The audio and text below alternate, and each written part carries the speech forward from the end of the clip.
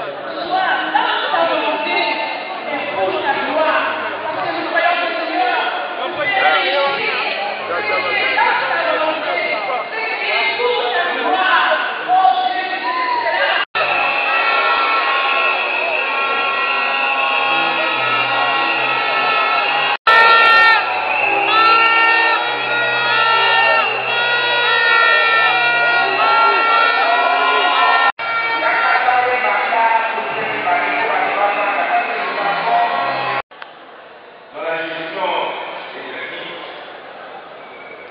La nation est unie.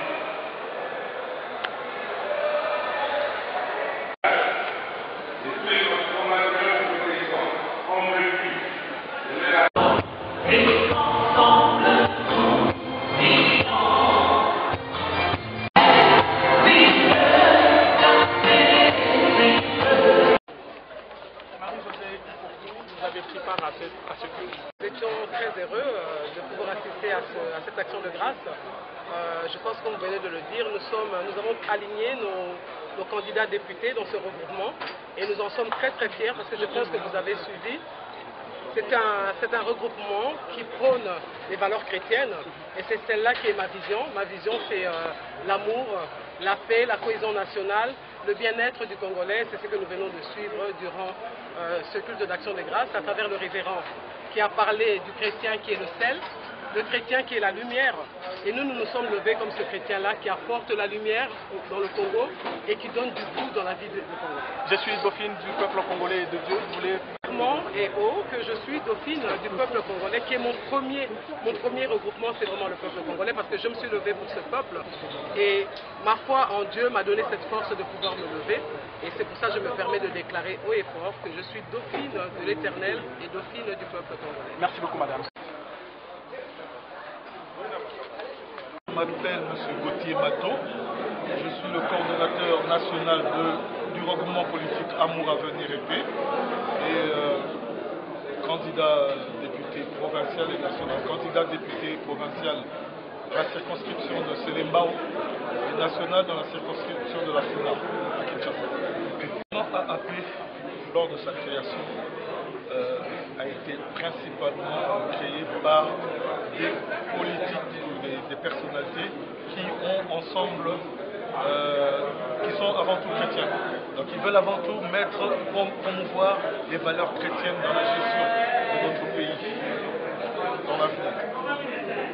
Au jour d'aujourd'hui, au- au- aujourd'hui, nous, nous considérons qu'il serait malvenu de parler opposition majorité quand nous savons que nous sommes en période électorale. Le combat pour tous aujourd'hui, nous sommes tous candidats pour, de, pouvoir se positionner justement dans l'avenir, savoir qui sera la majorité et qui sera l'opposition. Nous sommes dans une période transitoire, une période qui nous, qui nous mène vers les élections.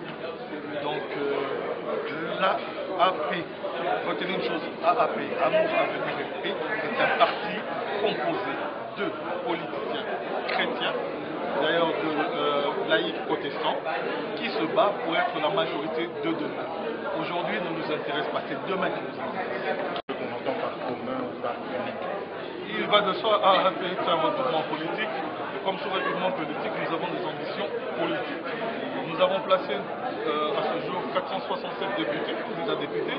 Euh, il va de soi que, à un moment donné, on verra les, les candidats présidents de la République potentiels qui existent, qui sont, qui sont là. Aujourd'hui, on en a plus que deux. Il y en avait trois. Non, le troisième, euh, il est membre du FCC, il est de la majorité et du FCC. Ouais, mais il est candidat. l'honorable Ramazan Chouet. Oui, il est candidat. Mais il n'a pas de l'AA. Non, non, il y en a aucun. Nous répétons que l'AAP n'a pas de candidat président de la République. Mettons-nous bien d'accord. AAP n'a pas de candidat président de la République. AAP a des candidats députés. Pas de candidat président de la République. Raison pour laquelle vous avez vu qu'on a invité tous les candidats. Ils ont tous reçu des invitations. Il y a ceux qui ont répondu à, notre invitation et ceux qui, pour des raisons diverses, euh, il va de soi, qui n'ont pas pu répondre. Et on peut comprendre. Chacun son agenda et tout. Voilà. Et AAP, en tant que regroupement politique, a placé des candidats députés. Si vous avez bien suivi le discours du président tout à l'heure, nous avons des candidats députés provinciaux, candidats députés pour les élections législatives nationales n'avons pas de candidat. Mais c'est envisageable. Merci. Merci.